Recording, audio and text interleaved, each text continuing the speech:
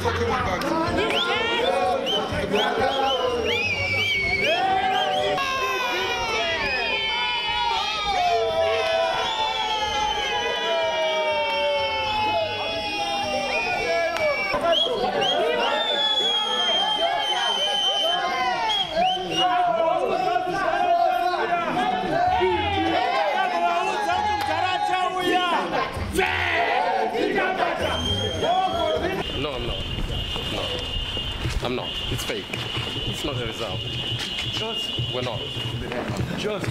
What's going to be the way forward as far as They are not credible. They are fraudulent elections. Actually, when we don't be given, when we don't get the right to verify the results, we cannot say they are they are credible. They are not credible at all. Realmente, não é